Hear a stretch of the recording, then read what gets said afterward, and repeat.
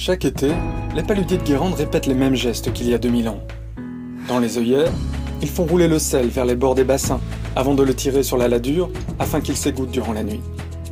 À la fin de la saison, chaque paludier transportera son sel à la coopérative.